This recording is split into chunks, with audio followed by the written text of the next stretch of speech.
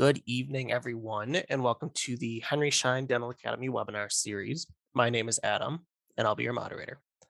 Tonight, we're joined by Dr. Elisa Praderi, as she will highlight a complete beginner's guide to 3D printing. At any point during the webinar, if you have a question, please feel free to type it into the Q&A section of your control panel, and we'll get back to you via email within two business days. Henry Schein is not offering CE credit for viewing or attending this presentation, live or on demand. And this webinar is sponsored by Formlabs. With that, I'd like to welcome Dr. Praderi. Well, thank you so much, Adam, uh, for the introduction and also uh, Henry Schein Dental. It is an honor for me to be presenting uh, this webinar today about 3D printing, a complete beginner's guide featuring a product demo.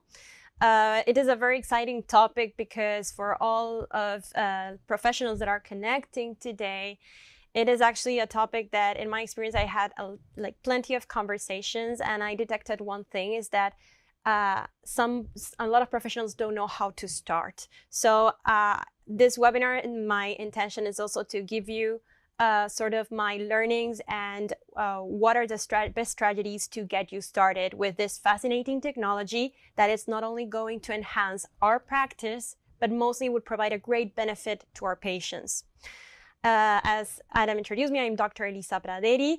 A little bit about myself. Uh, I am a trained dentist uh, from Uruguay uh, with experience in research and in private practice, both in uh, let's say uh, joint practice, but also in emergency service at the university where I attended.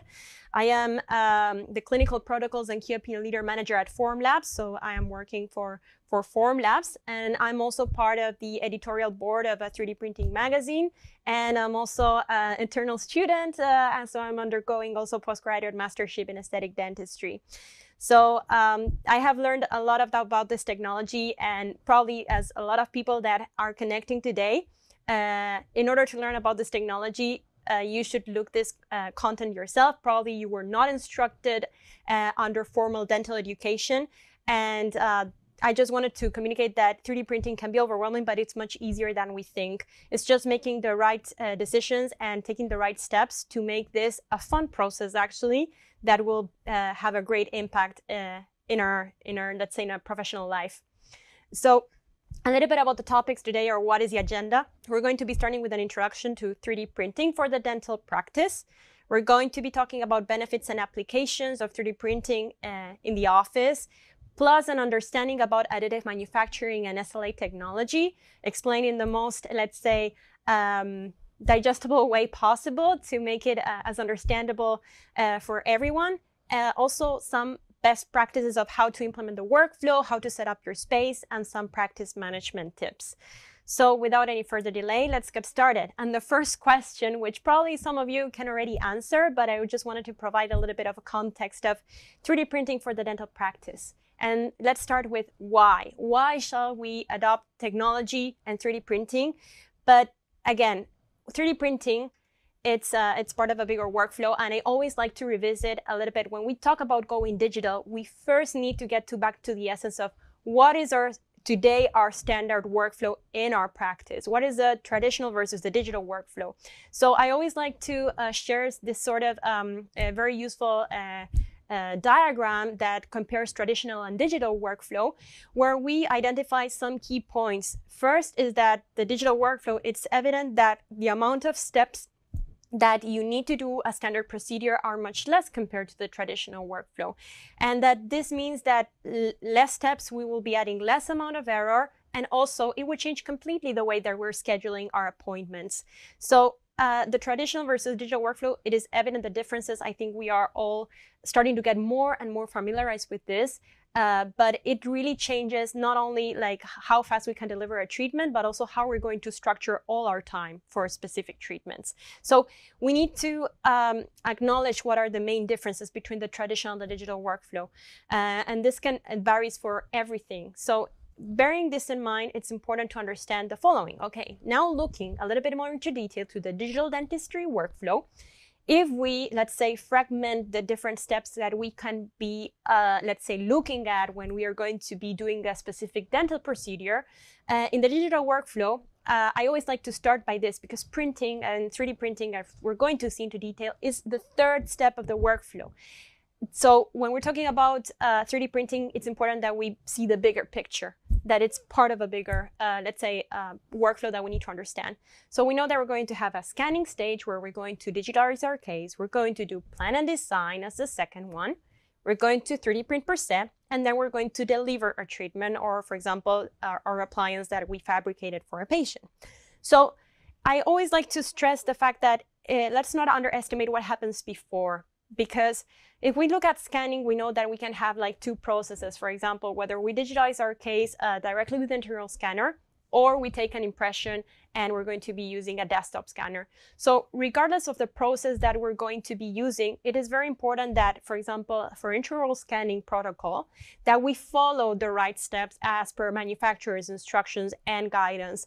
Because what we register with the scanner and what our digital patient is going to be looking at is going to be the framework for whatever appliance we design afterwards.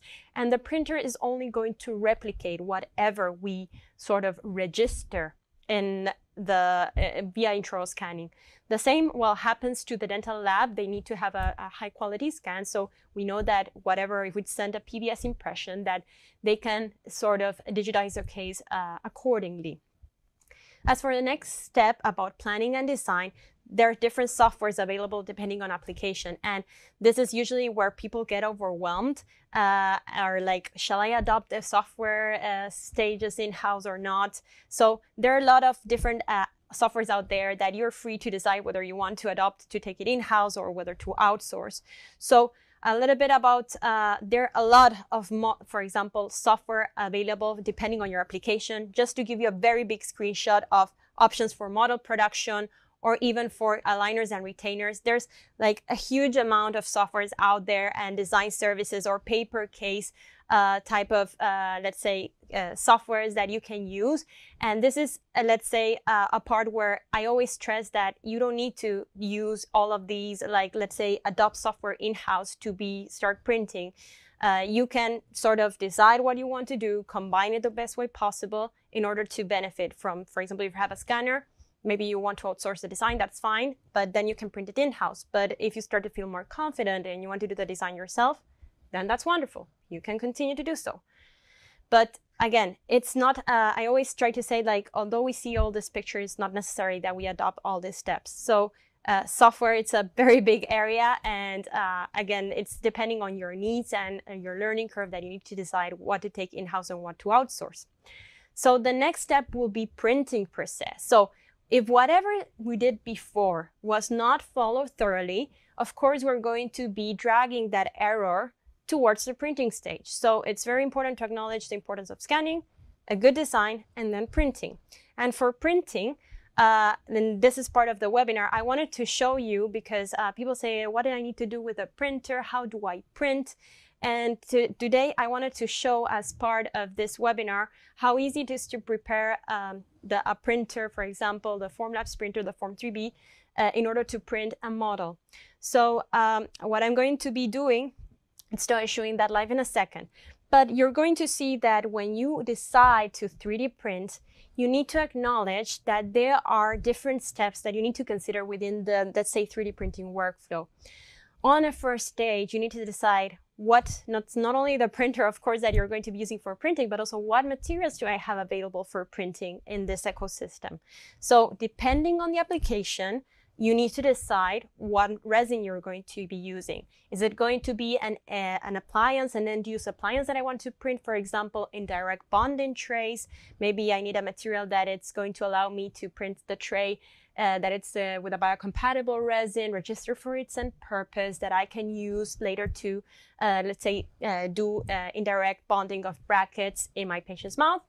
Or if I want to print a model, I need a model uh, resin that's going to replicate exactly the anatomy that I want. But of course, for example, it's going to be very different whether I need a model to do a thermoformed appliance compared to a model that's going to be a restorative model where maybe I want, I need super, super high accuracy and I need to sort of test the fit of a bridge or a crown. So the requirements even for models are going to be different. And depending on how, um, what are your necessities and specific treatments, there are different options available. So always the first steps starts with how to uh, choose, uh, like, let's say choosing that material right.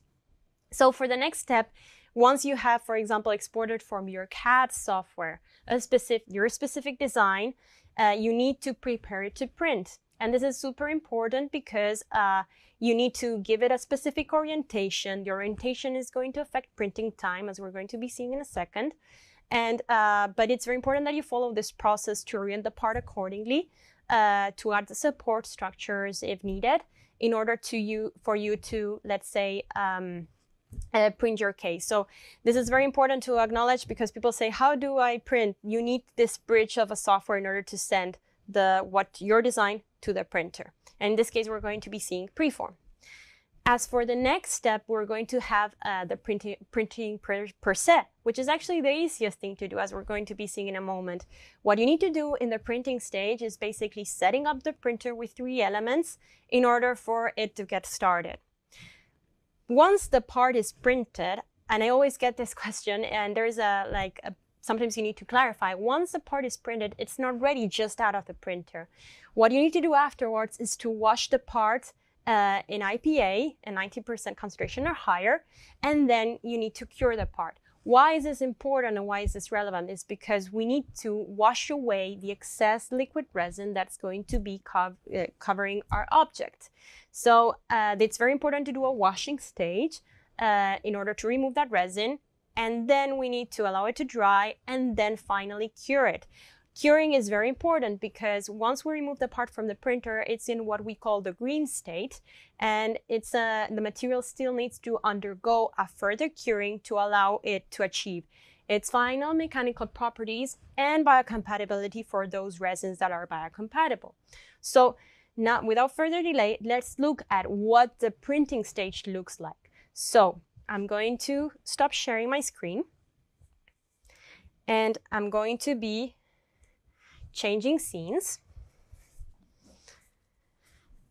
And now what I always like to share is that it's super important when you are working with 3D printing, and of course we are sort of used to this, is that always wear gloves. So for this case, uh, I'm going to be uh, putting myself the gloves.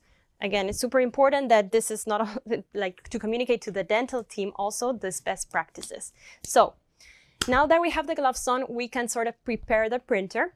And first thing to note is that the printer, for example, that this is a Form 3B by Formlabs. Uh, as you see, it has this orange cover and the elements that are going to help me to print the, in this printer are going inside the printer. So what do you need to print? Basically, when you are dealing with 3D printing, you, you need three basic elements. One, it's the resin tank that the resin tank in this case comes in a plastic box. As you see, it has a, a, a this orange cover also that will, uh, let's say, protect my liquid resin from curing. And what I'm going to do is that I'm going to remove the lid and this and this actually contains my what we call the resin tank. And this resin tank, for example, already has the liquid resin.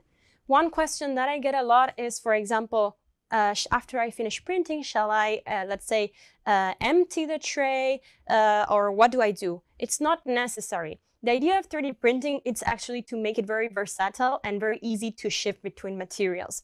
And when you have a resin tank, it's uh, you can uh, just remove it from the printer and store it while you're not using it and then change it for another, let's say, new resin tank with another resin.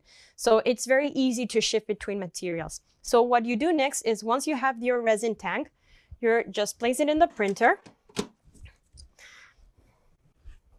And here the printer, in the, it has a printer screen. It, tells you automatically that, okay, this resin tank was detected. And uh, this is very nice to see, for example, that the, the, the, printer recognizes that all the elements are in place. So for example, now it's going, it has a resin tank. But the next element, the element number two that you need is always you need a build platform. So what is the build platform? A build platform is, uh, let's say, as the name says, it's a platform where our object is going to be constructed. So uh, this object is going to be, uh, in this case, I'm printing a model that's going to have its base directly on this build platform. The reason why I decided to do that is because uh, for it's going to print the fastest because what affects the time in, let's say, in printing? It's going to be the z-axis. So if I have a flat object, I'm going to be printing this height. But if I orient an object vertically, it's going to have to print a much let's say, um, a taller height. And that is going to affect my print time. And in this case, uh, printing models directly on the build platform, it's a very good balance, uh, let's say, for having a fast model that it's going to be super accurate. So this platform is fundamental. A our 3D printers have it. So what we need to do next is going to place a build platform in the printer and it has a handle that will secure the platform. So we will see this in a second, but how the printing is going to happen is this platform is going to descend to the resin tank to where the liquid resin it is. And there's going to be a laser from the bottom curing our element layer by layer.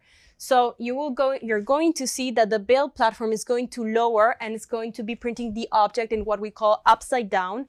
So it's going to have an inverted orientation.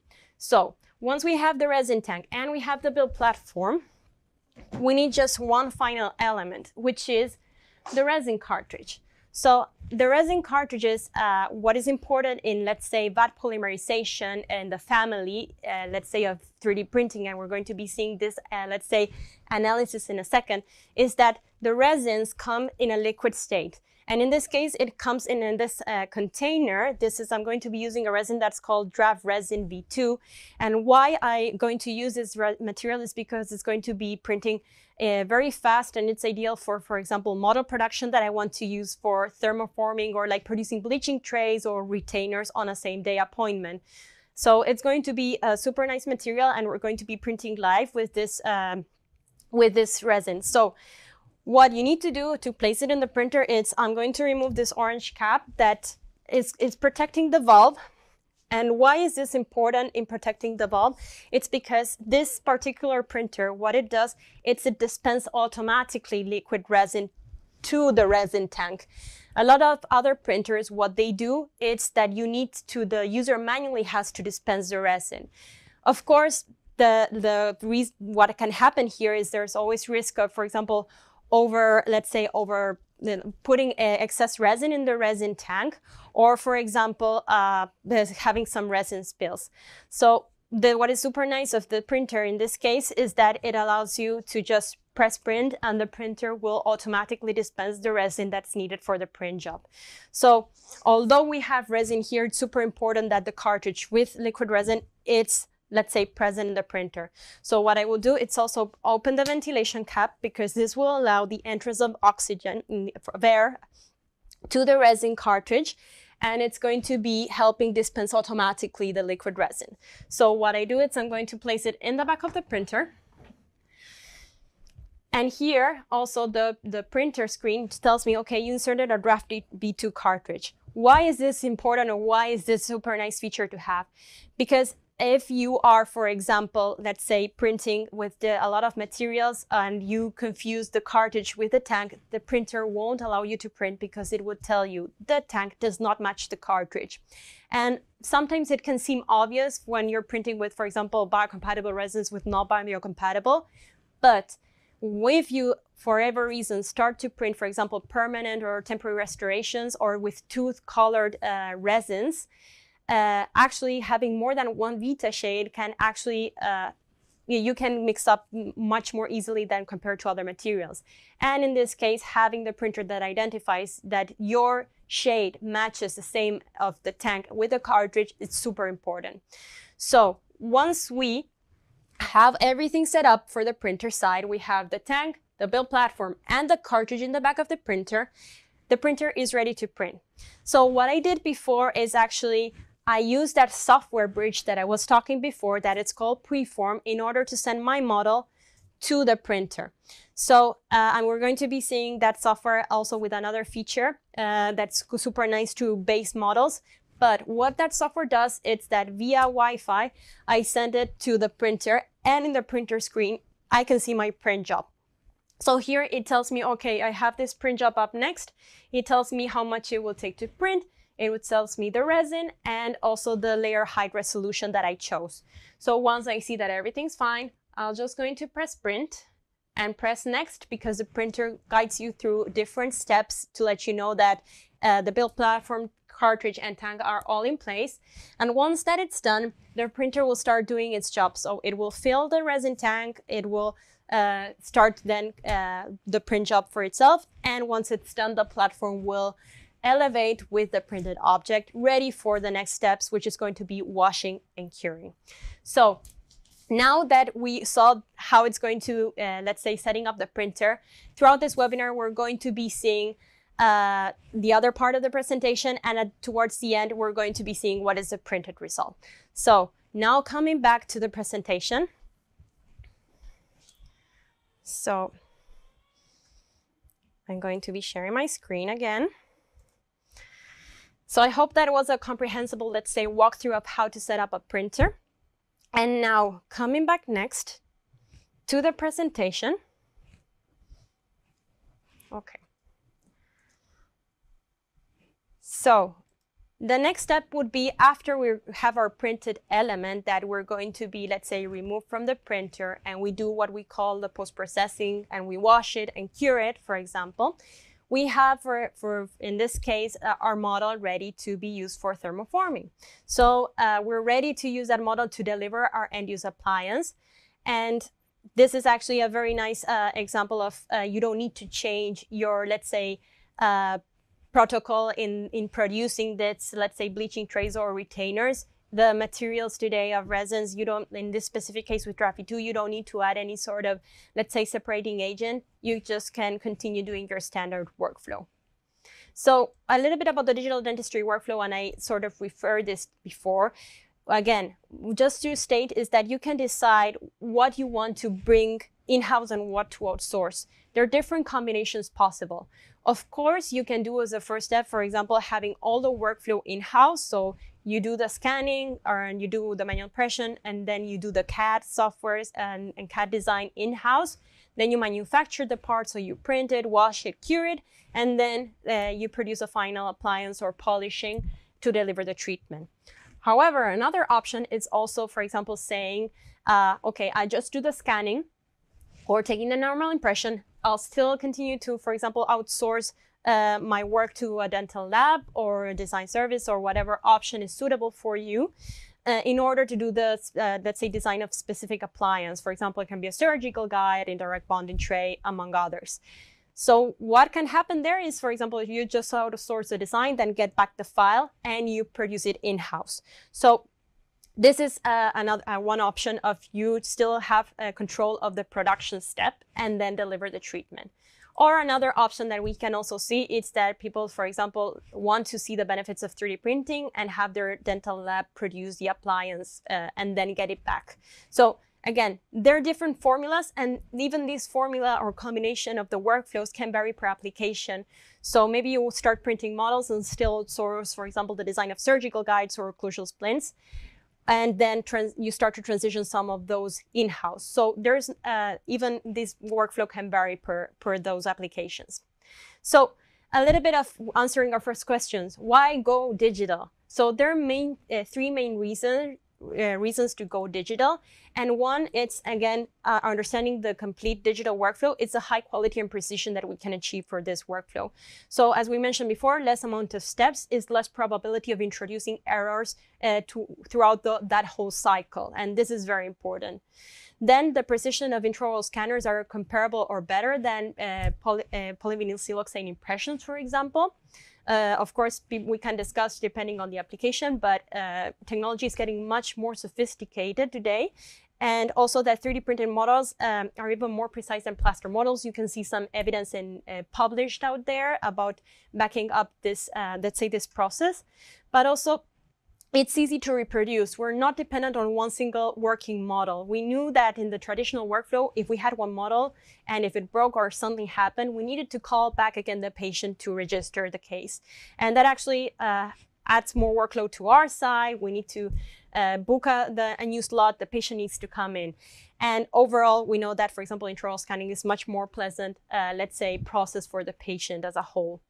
So another important thing is that why higher quality and precision? Today, for example, with digital technologies, we, we are able to combine even CBCT with intraoral scans to produce, for example, a surgical guide. So we have a complete digital patient that we know exactly where all the uh, noble anatomical elements run. We can design our guide precisely and integrate all these technologies together to a certain, also to the extent that we can incorporate digital, uh, digital photography into this to do, for example, a facially driven uh, rehabilitation design. So it's a very exciting time to, let's say, incorporate all these technologies, and there's no excuse to get a high quality patient.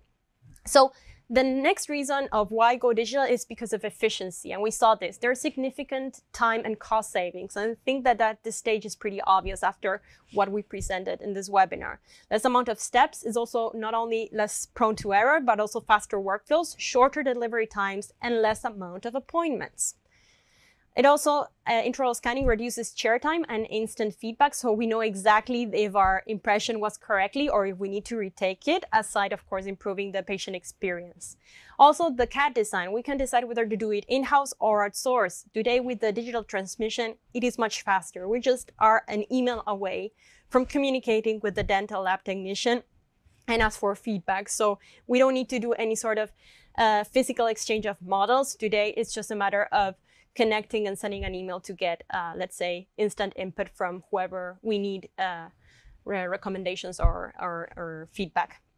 And also about 3D printing, produce parts in-house to reduce costs, also deliver appliances that are even more precise or even uh, same day. We know that 3D printing and doing some uh, uh, workflows in-house actually has a lot of benefit because we can sort of reduce some uh, fee costs and also for uh, reduce some, uh, let's say, uh, cost for the patients, and also it opens the possibilities of same-day delivery of appliances. Of course, we have seen this with milling, that the possibilities of delivering, let's say, same, same-day restorations, but also printing, for example, today, if you can deliver a bleaching tray in a much faster, uh, let's say, and shorter time frame, it's actually very nice for the patient experience and productivity. So a little bit about intraoral scanning. We this is just an example, uh, courtesy of like uh, of, of 3Shape of comparing the analog versus the digital one. Of course, again, practice makes perfection. So at the first time, it might take longer than what we see in this video, but still, uh, it's not only uh, very productive. We know that for patients that have very sort of acute gag reflex, um, this is going to be uh, a life-changing experience for them. So uh, it's intraoral scanning, it's here to stay and will get much more sophisticated throughout the time. So just to compare, for example, in this animation, we see that the lower and upper, uh, like how the digital workflow is actually much, uh, let's say, faster than the traditional one. So there's, I think, no excuse. And if you have an intraoral scanner, then it is natural step that you uh, want to, let's say, start to produce appliances in-house. So a little bit about same-day delivery times and productivity, just to let you know, with this material that we're printing right now, uh, you can print models, for example, in 28 minutes, and including the washing and curing and the fabrication, under one hour, you can have an appliance ready to go for the patient. So before, maybe we were not able to offer this, but today with digital technologies, and with new patient demands too, we're able to sort of have uh, under the sleeve options uh, in specific cases to run the extra mile for the patients. So reason number three, it's better patient experience and outcomes. I believe that uh, this is, again, pretty obvious with the integration of all the digital data. We have better diagnostics and treatment planning, seeing all these anatomical elements that we can sort of identify of uh, seeing the bone quality, see how that incorporates with intraoral scanning. We know that uh, this precision is as its best with all this technology integration.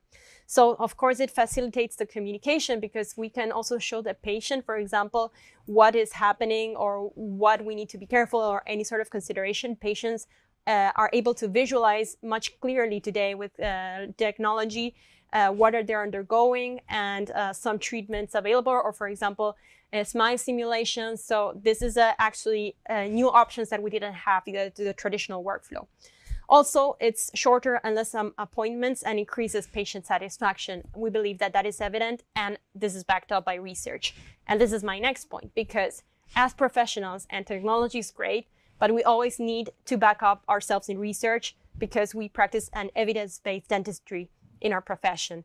So just to let you know, there's a lot published out there, a lot, whether it is traditional versus digital workflow, milling versus printing, or printing technology versus another printing technology. So there are endless possibilities, and it's very interesting to see uh, what are some sort of results. And let me share with you a couple of examples. For example, this uh, research study uh, published uh, in 2017 talks about how the use of fab in-house fabric fabricated stereolithographic implant surgical guides uh, show similar accuracy to laboratory or fa manufacturer prepared guides. So this is a, it stated that a, a technique that it's very convenient and cost effective that will assure proper implant placement.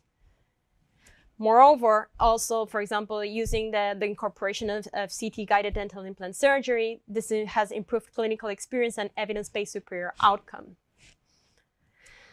Another example, for, for, for instance, a crown produced via the digital additive workflow, uh, comparing the cement gap, for example, for a crown that was fabricated conventionally or versus uh, subtractive technology, and they analyzed the cement gap, and the additive manufacturing showed uh, a smaller cement gap, mean cement gap, compared to the other technologies. Uh, for example, this is more approach to maxillofacial surgery. It helps to reduce operating room costs secondary to shortening procedure times. So uh, maxillofacial surgery and healthcare in general, with the anatomical models and being able to prepare themselves for surgery has actually enhanced a lot the process. And for example, comparing uh, dentures printed SLA versus DLP uh, related to the, the, the, trueness in that case uh, and with different build angles. So here for, is a clear example of different 3D printing technologies being compared um, eh, like DLP and SLA. And for example, this is a very interesting research study that's uh, about the introduction of digital denture technology in a university clinic in North America and about using 3D printing for preliminary steps resulted in substantial cost savings, fewer visit, increased patient satisfaction, but also satisfaction from the students and the faculty members.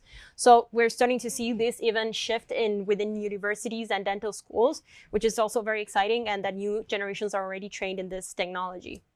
And last but not least is also that, uh, for example, the production of models, how it impacts, for example, uh, the digital impressions compared of traditional versus PVS. And actually, uh, they both replicate the tissues, uh, let's say, uh, with a high accuracy. So there are no significant differences. But one last thing that I wanted to finalize is that we see that there are a lot of uh, areas of dentistry that are having a benefit. But one thing that we know that this was published in 2018 that what needs for research is the new materials available. And 3D printed technology is evolving at such a fast pace that um, we're going to be seeing more and more evolution and production of dental materials that are going to be uh, also biocompatible that will allow us to print more and more applications directly. So uh, this is very exciting and also a call, uh, a nice call to action that uh, this is the future of 3D printing lies in the in the evolution and R&D of dental materials. So additive and subtracting manufacturing. Just to let you know, and we know that we're all familiarized with subtractive technologies and additive technologies, uh, let's say, uh, are something new. And just to let you know, with subtractive manufacturing, we are referring, for example, to the milling process in this case and 3D printing uh, to a different technology. We can consider the both as like 3D printing, but one is removing material and the other process is adding material. So about additive and subtractive, we know that these technologies are actually complementary. So we know that subtractive manufacturing has more, for example, for milling machines have more materials available, they have very high precision, but the limitation that they have is the geometry limitations and that not all geometries are, let's say, reproducible. They have to, you have to have the specific parameter of milling radius compensation activated, and also that the cost per part is higher than printing. On the other hand, for printing, we know that we don't have limitations on geometry. Mostly everything is printable in with this uh, additive process. They, you, we have a very high precision and it's getting better and better each time. Of course, there's a limitation of materials available and what we can do today, but R&D is developing very fast and we're just seeing the beginning of what is possible.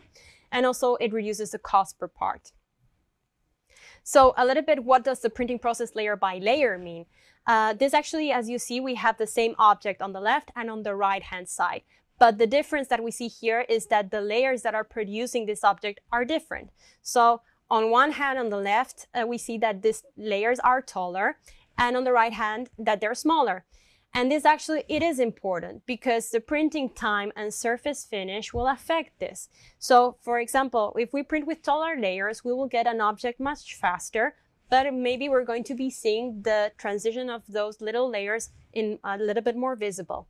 But if we print uh, an object with, let's say, smaller layers and having, um, let's say, uh, more accuracy or like more nicer surface finish. For example, for our restorative model, we need to be the layer super uh, small because we need to have a super, super smooth surface. Then uh, uh in that case, the, it, we're going to get a very nice surface finish, but the print time is going to be increased. So different materials have different layer height settings. So based on your needs, you can also decide uh, for example, if I want a model to print fast, I'll probably go with the option of taller layers. And if I need an object or a model that I need to, for example, very high accuracy as a restorative model, I will go with the option of smaller layers. So this is how it looks in a practical world. We see the same object printed in 100 microns versus 200 microns. That is sort of the reference and other metrics that we use to define the heights of these layers. And we can see that the one on the right-hand side, we see more the, let's say, the stepping in that sense compared to the left-hand side. But another important thing within additive manufacturing is understanding what is SLA technology. So SLA technology, it's a family within 3D printing and additive manufacturing. If we see with additive manufacturing, we know that we have different families. And uh, we have vat polymerization, we have powder bed fusion, material extrusion, material jetting. And these are all new concepts for us. But the ones that are mostly used also for, for let's say, dental 3D printing is the family on the left, which is vat polymerization they're all fundamentally the same. What varies for example, DLP versus SLA? Uh, so let's get to what is the same. We know that we're going to have a liquid resin that is going to be cured layer by layer. Now, the difference lies in how that, that layer is being cured. So for example, if we compare DLP versus SLA or low force stereo stereolithography, it's actually in the DLP side, we're going to have a layer being projected all at the same time and that uh, that is going to be in the projection of uh, let's say a pixel in that sense. But on the right hand side with low force stereolithography and SLA printing, we're going to have a laser that is going to be curing uh, spot by spot. So advantages and disadvantages. On the left hand side, this process is going to be much faster to print with DLP. However, for the surface accuracy, low, uh, low force stereolithography, having this laser that cures spot by spot would really translate in a higher, uh, let's say, accuracy and surface uh, resolution. But again, this is constantly evolving and we're seeing a lot of improvements in, let's say, uh, the settings and print speed in all technologies, and but mostly uh, also evolution of what materials are compatible and what how what we need to print if it needs to be super accurate. I always go with, let's say, SLA technology, so again, these are, let's say, different options within the vat polymerization family. So what is SLA? Because there uh, SLA technology, as we just described, but what is LFS, low force stereolithography?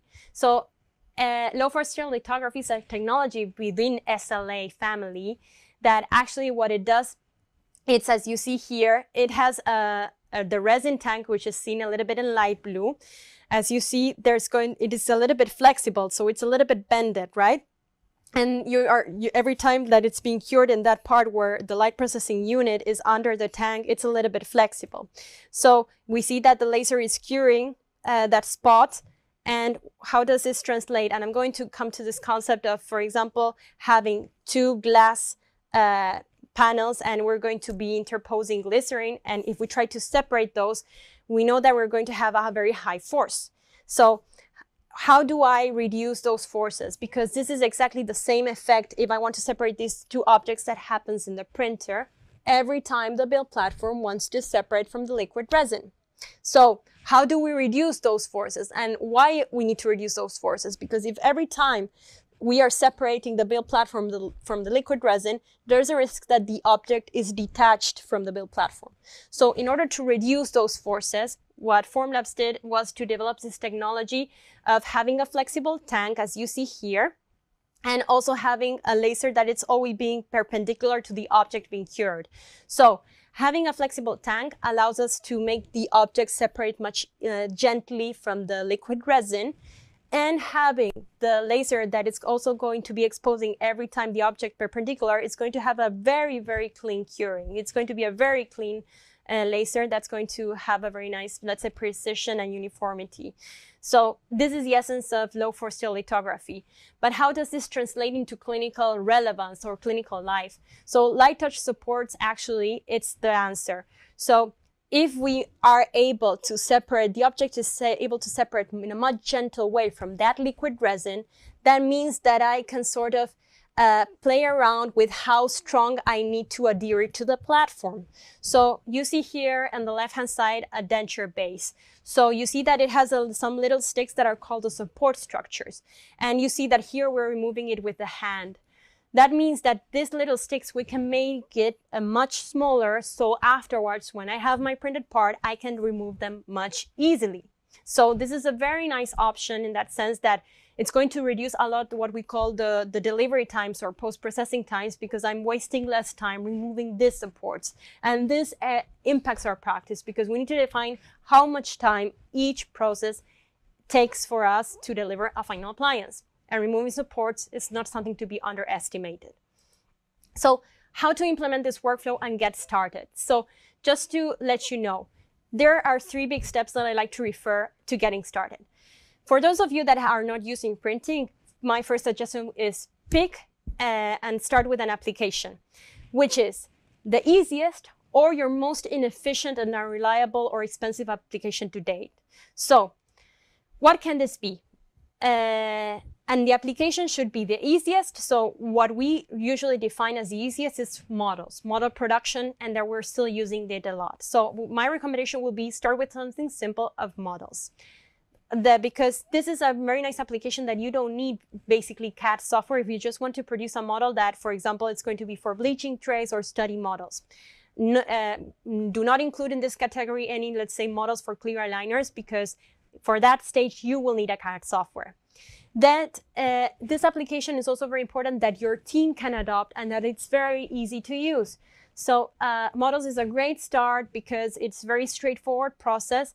And again, it's very important to get the buy-in from the team because when we're taking the digital step, it's not only us clinicians maybe taking the decision, we're also going to need the collaboration of all the dental staff to deliver, uh, let's say, uh, in a timely manner. So just to say, tell you an example of, for example, how easy is to produce a model and uh, using uh, this feature of PreForm that's called scan to model. So we know that the CAD part can be a barrier for adoption and people think that if you don't do CAD, you cannot do printing, which is a misconception. Um, but we know that CAD can be a barrier for adoption because it has steep learning curves, some fees associated. That can be a challenge for clinicians that are new to the workflow. So with scan to model, usually what you're doing, it's eliminating that step where you need to sort of use any CAD software other than PreForm, that it's the nesting software to prepare a part to print. So with uh, this new this feature of, of, of scan to model, you can eliminate completely that step and you can uh, base your models directly from your intraoral scan. So what is the process? So uh, maybe you have an intraoral scanner and you can do this process, but maybe you don't. Uh, so first thing first, when you get, for example, your intraoral scanner, your patient case, you need to you scan your patient and you need to export the file that you get as an STL or OBJ file from your scanner. Then the next step that you need to do is open the software PreForm, uh, which you can download already for free and, and, give this a try so you experience yourself how easy uh, it is to use. You import the file, then what is going to happen is there's going to be um, a, a pop-up that's going to show you what material and what layer height you're going to choose. And for example, here I selected a printer, I selected draft resin, and I'm going to print in 200 microns because for a bleaching tray, it's more than fine that it's a model printed in 200 microns the appliance will fit perfectly and for a bleaching tray is more than enough uh, resolution that I need. So once I select those three variables, uh, there's going, I'm going to press this tooth icon in the software and I'm going to be importing the file. And there's a wizard that's going to be popping up. So when I press the tooth icon, I press import I'm going to import my, um, let's say my file here, it's an STL file. And here the software will upload it. And what I need to do next is give it an orientation per the wizard. In this case, I'm going to orient the occlusal surface, let's say parallel to the build platform. So the build platform is this grid that you see here. So it's going to be where the object is going to be constructed. And I wanted to give an orientation. So I know that it's pretty much parallel to that build platform. And okay, I check it from all the sides. I see that it's pretty much, let's say parallel. Okay, perfect. I see. Then I press next. And here I need to, okay, where I want to cut, what is the data that I don't need from this scan? So this trim plane, I check, okay, I'm not cutting any relevant information. Excellent. So perfect, looks fine. I can erase anything that is from that, let's say, uh, light blue part uh, down. And then what I want to do is to add an extra base because I wanted to give it like a little bit more, uh, let's say, uh, base below that uh, blue trimming plane. Then I put create and here what the software will do, it's going to be editing the model. So the software will be cutting uh, the plane and it's going to be uh, adding the extra base model that in this case was three millimeters.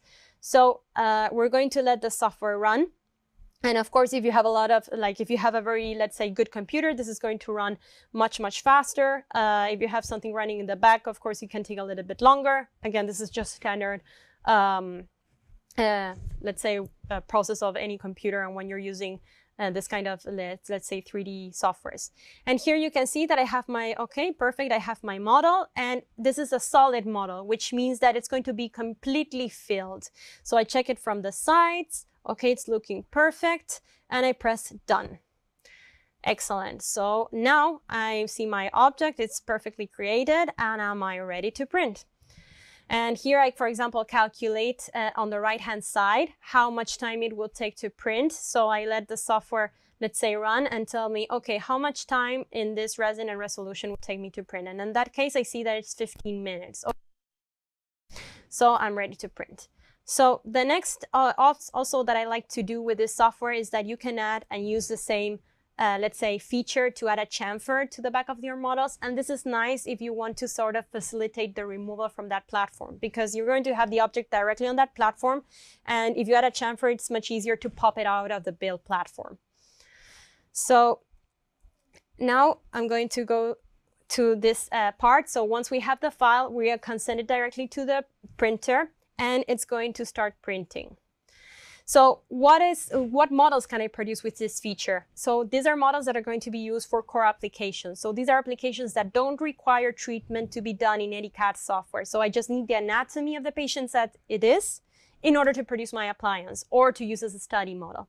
So um, it is going to be very useful to get, let's say, started with the printing workflow and benefiting from having your scanner, but still not being overwhelmed with, let's say, um, involved in any sort of CAD software if you're not ready.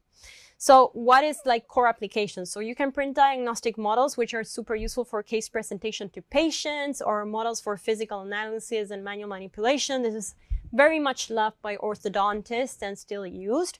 And, and this is something that you can use this feature for. So you don't need any sort of CAD software other than what we used in PreForm. You can also print models for thermoforming appliances or trying models. So for thermoforming appliances, we're talking about bleaching trays or retainers. So this is good for same day delivery of treatments with a first aligner. If we are, let's say, want our patient to start getting a feel of what it is to have an appliance constantly in their mouth while we produce our first aligner. Maybe want to produce a retainer because our patient lost it. You want to produce a bleaching tray or to really, let's say, reproduce broken appliances if that happened.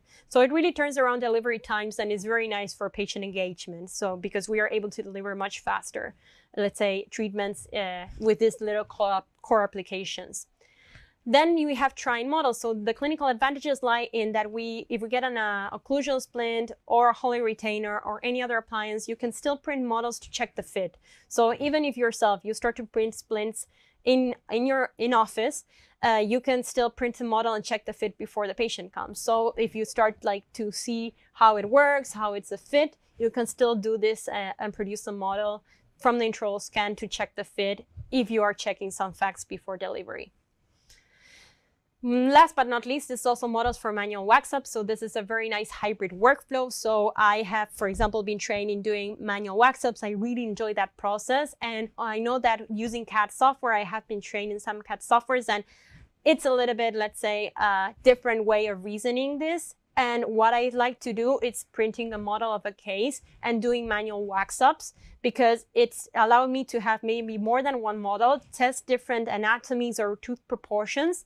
And I, upon that model, I could, uh, let's say, um, produce a silicon index that I will use that to do the mock-up in the patient's mouth.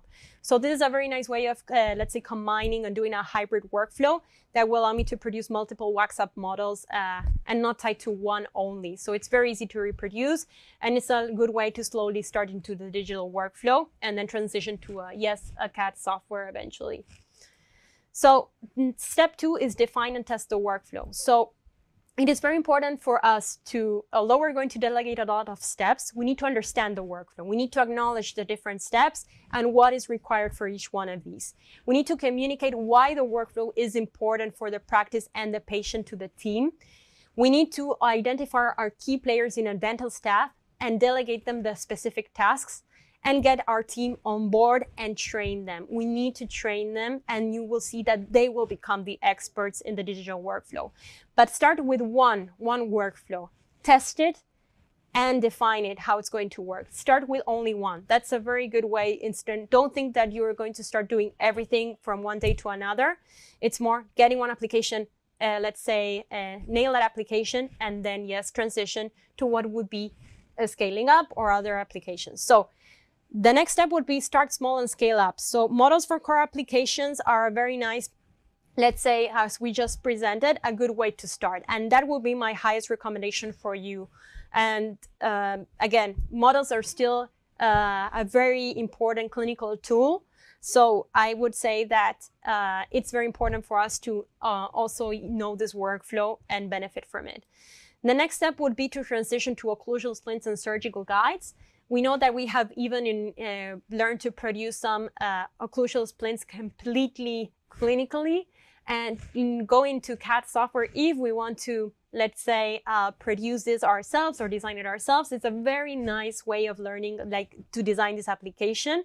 Uh, or even surgical guides because we are the ones deciding where the implant is going to be placed. And if we do that analysis ourselves, we are understanding much more how the end use appliance would look like. So these are very two nice applications that a clinician can completely, let's say, design for themselves, but also you can still outsource it. The only thing important to note here is that these two resins compared to application one, they're biocompatible resins. So this means that they will come in contact with the patient's tissue. So the management here, it's super important to have a separate, let's say, washing station, not wash the same resins that are for model production with biocompatible ones and uh, keep a complete separate, uh, let's say you can use the same printer, but have a build platform or resin tank dedicated to each one of these materials. And it's very important to follow exactly the washing and curing times because manufacturers test mechanical properties and biocompatibility based on those specific instructions for use. So it's very important to comply with these. And next uh, step, let's say if you're transitioning from beginner to intermediate to more expert, you can start printing provisionals, permanent restorations, and even dentures. But these have a little bit sort of a different steps in what we call their finishing process post-processing protocol, because for example, these resins of permanent and temporary for temporary restorations require a sandblasting stage and use two steps of curing the appliance. So it's a little bit different compared to the other materials. So it's good that you first test uh, basic applications and then you start to understand how, mm, let's say, other materials that have a little bit more of steps works. So this is my suggestion of the recipe how to get started. So just to, as a recap, okay, I want to start. How do I produce a model for a retainer for same day delivery? Express uh, view. Okay, I scan my patient and print and deliver. I scan my patient. I have a perfect, I have like this render that it says we see a hollow, uh, let's say, uh, file. I'm going to import it uh, in PreForm. So I import the file. I do scan to model and add a base. Excellent. I have my model. And then I print. In this case, I'm going to be using draft resin because it prints super fast and accurate models. So we can print in two resolutions and it's I can deliver the appliance in one hour, one hour and, and 15 minutes. And the surface accuracy is excellent because I read all the instructions and I know that this is going to be suitable for my application. And then I'm going to be printing and as we are going to be seeing now, and then we're going to wash and cure the part. So for washing, we need to wash in a bath, in this case, using the Form Wash. It's an automatic station. You set the time and you can wash it in a basket or directly in the platform in IPA 90% or higher concentration. In this case, the washing time for this material is 10 minutes. We allow it to dry, excellent. So I wash my part, I remove the liquid resin, and then I cure the parts. So here I remove the parts from that build platform, and I'm going to be placing them in the cure. So in this case, I will cure this resin for five minutes at no temperature. These two variables are, you can configure it in this curing station that is the Form Cure. So it will uh, allow me to achieve the final mechanical properties. So then excellent, I have my model. I'm going to be doing the thermoforming of the appliance. I use my standard procedure, so my thermoforming machine, my thermoforming sheets, my dental handpiece and uh, cutting tools and polishers. So I get my appliance, I'm going to be doing the initial cut, I'm going to smooth the edges, I'm going to polish, and I'm going to deliver the appliance. So all of these can be combined in, let's say, deliver the appliance in one hour to the patient. And this is how, uh, let's say, a retainer that was thermoformed upon a model into printed into 100 microns looks like. So we can see that the aesthetics is actually very high. You can see a little bit the layer lines passing to the retainer uh, in the more, if we look at the incisional edges, but this is again a macro picture and the aesthetic outcome, it's, uh, let's say, very pleasing. So this is how a lateral picture looks like and perfect, I produce my appliance. So just to some like uh, round up a little bit, uh, because one thing that is important to acknowledge is that practice management is super important. And because we think, where shall I place the printer? How shall I prepare my space for printing? So what is important to acknowledge is that what is the space setup? So we know that the printers today are sort of our desktop size. We can place them basically anywhere. Uh, there are a lot of clinicians that I know that are placing it in the in the waiting room because they like it to be a discussion point for the patient or within, let's say, uh, where they have the dental chair. But uh, what we would suggest, or like, what is my recommendation, is that you have everything in the same place with, so you can change very easily between materials. So my first recommendation is get a solid table with no movement. We're dealing with printers here, and you see that printers have uh, little foots. And of course, if the printer is tilted with uh, unbalanced or you move the table, you're printing an object. So that is going to be transforming from a liquid to a solid object. So you need to have a table that it's going to be stable. Then you're going to, my suggestion would be to orient the objects or let that your the workflow from left to right. So the CAD station, the printer, wash, cure, and post-processing, uh, let's say area. So uh, above, we can have case workflow and organization. So we know what's coming in and what's coming out. So we have everything that's being printed on the same, let's say, area. So we have our CAD station in this, in this uh, let's say, on the left side of the printer. We have the 3D printing area then we have the post-processing area. Why is this useful? Because if we're not managing this ourselves, or we have several dental staff that are sort of going to be doing this for our, for for us, we need to. It's very easy if we place it in in this specific order from left to right. There's it's going to avoid uh, any sort of problems or um, making any mistakes. So Following the process, if the part is printed, okay, we know that we need to wash it. And if what I come into the lab in within my practice and see that the wash uh, it's ended, that means that I need to cure it. So I can follow exactly the step. And if uh, you have like sh different shifts for your dental staff, whoever is coming in later and knows which step is ready, they can continue uh, whatever where, wherever their colleagues left off. Then we have uh, on the bottom the resin tanks and uh, cartridges like we saw today, these boxes and uh, let's say cartridges with liquid resin. And we have, for example, IPA, gloves, or other elements that we will use for finalizer parts.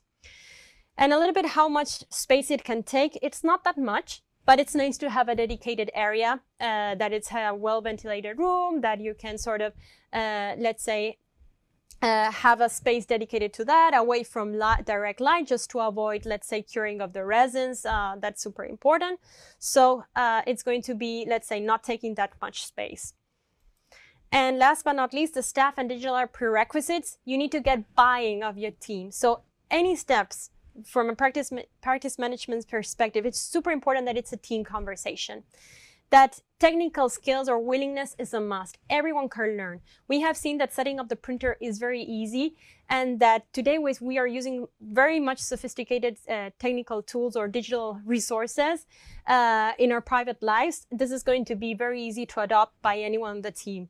So of course, having a dental technician is ideal with digital experience, but we can still identify any other key players that are willing to learn and scale their skills to become the experts and then train others. You will see that they will ramp up in no time and going to become even the masters even more than ourselves. So as a conclusion and to round up, what to consider to go digital? That we digital workflows are flexible workflows. So we are free to decide what is most convenient for us, what to take in-house and what to outsource. That the learning curve is for the professional and the team, that there is a learning curve, but there, there some, are some strategies to start, for example, printing models that can sort of eliminate that learning curve. Then you need to evaluate your ROI. You need to uh, acknowledge what new skills you will need to acquire yourself and your staff. You need to do a practice structure of your time, your space, your team, estimate how much time it will take me to produce an appliance in order to schedule my patient for the next appointment. We need to analyze what are the resources needed and um, also consider that we will be providing an excellent patient experience. And this is always a North Star. What is the best for our patients? And how to go digital? Choose your starting application, choose to what to take in-house and what to outsource, get your team on board, acquire the pertinent resources, get trained, and plan to expand to new applications as your skills grow uh, together with your team. So I just want to say uh, thank you. And just before we uh, wrap up, I just wanted to show you a little bit how the printed part uh, ended up looking. So what I will do is I'll stop sharing my screen in one second. And just to show you what the end uh, appliance looks like.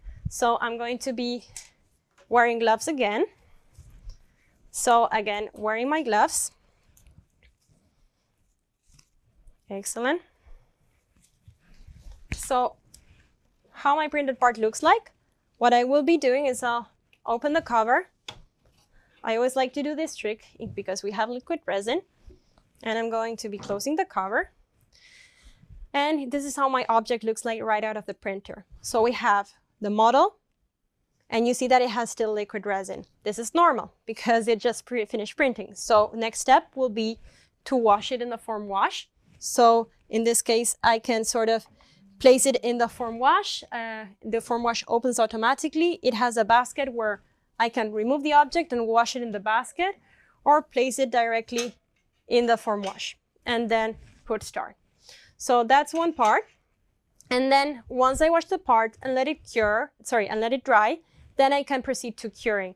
And it's very important to remove it from the build platform. So how will, uh, let's say, a part look like in the end? So I had the exact same model here printed. So you can have a look and this is how the end model looks like. So as you see, it's very straightforward and easy to do. And uh, I think that this is a nice way to start, uh, let's say, getting yourself into the digital workflow with 3D printing uh, in a very, let's say, easy way for you and your team to, let's say, become confident with this. So we did this live. It happened during this webinar. So I believe that there's nothing to be scared about. So now coming back and just like the final remarks and to thank you. I just want to say uh, thank you to again to the Henry Schein team. And thank you to all of you that connected today. I hope that this is sort of words of encouragement to uh, start going digital. It's a fascinating time for us to be, let's say, alive for the profession. So I encourage you to not be scared and take the digital steps. And I also want to wish you um, a good evening to everyone. And of course, I leave my contact details in case you have any questions. I'll be happy to answer. So I hope you enjoyed this webinar and I hope to see you soon. Thank you so much, Dr. Praderi, for the great presentation. And of course, thank you to Formlabs for sponsoring tonight's webinar. We did record the webinar this evening, and everyone will receive that recording via email within one week of tonight. If you have any additional questions, please feel free to reach out. Webinars at henryschein.com. Thanks for joining us. Have a great night.